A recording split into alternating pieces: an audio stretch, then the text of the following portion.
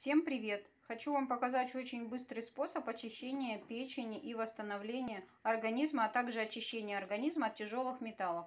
Берете, нарезаете тыкву, вот как раз ее сейчас сезон, ну примерно получается грамм 200-300 э, на порцию. И, соответственно, ставите отваривать. Отваривать нужно до полной готовности. Морковку положили, никаких специй мы сюда не, не кладем.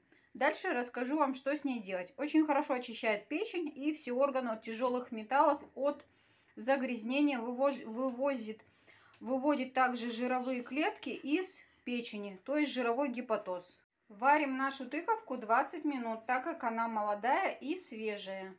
Все, наша тыковка готова, а, остудилась, а теперь мы сливаем всю жидкость и перекручиваем на блендере.